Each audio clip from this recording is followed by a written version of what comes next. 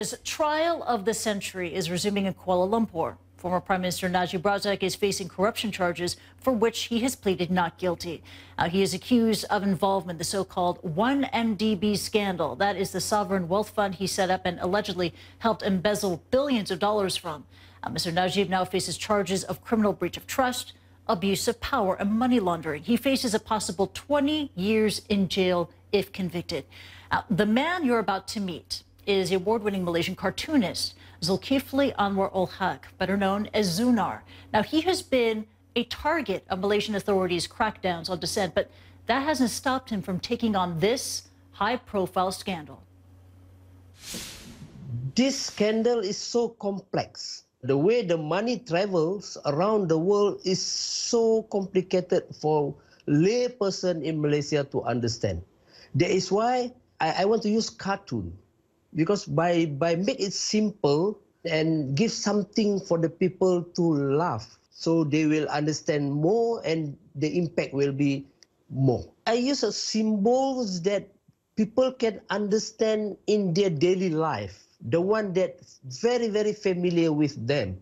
As example the expensive ring and the, the expensive handbag and also the the uses of a, a, a, a, private jet, which is people very easy to understand. And not only that, I compare this with their daily uh, life uh, lifestyle. That means, let's say as an example, the wife of the prime minister use a very expensive diamond ring and also a handbag.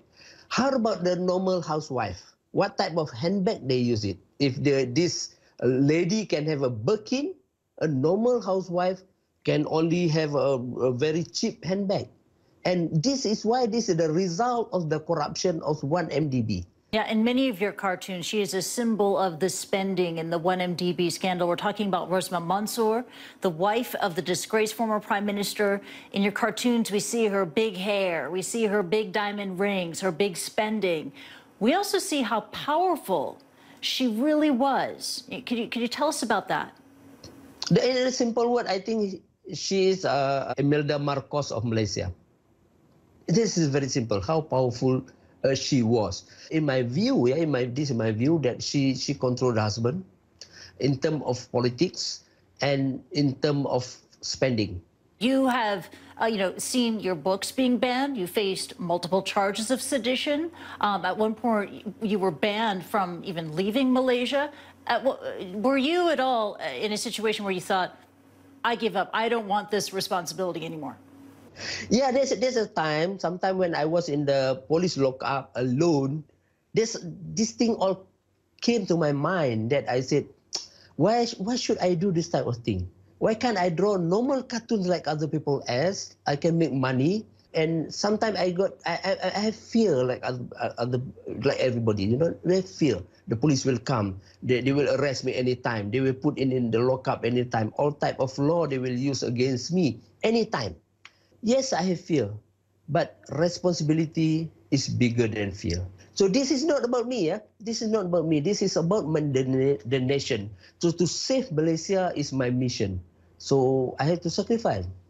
You must be watching the ongoing trial of Najib Razak very, very, very closely.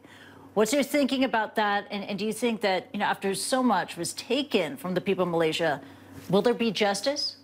I don't know the outcome, but um, what I know, many Malaysian think the, the, the, the process is too slow they want to get they want to see Najib in the prison as early as as as, as possible. Because for them they're very angry when they when during the trial it came out about even the pensioner fund even also been been used in the 1MDB scandal. Is a billion of pensioners funds. So i think people are really really angry but I also worry in terms of, I mentioned earlier, the 1MDB case is so complex. There are so many technical things. Then Najib might get away with it. And that was Malaysian political cartoonist Zunar speaking with me earlier from Kuala Lumpur. Now, both Najib Razak and his wife, Rosmah Mansor, continue to deny all charges.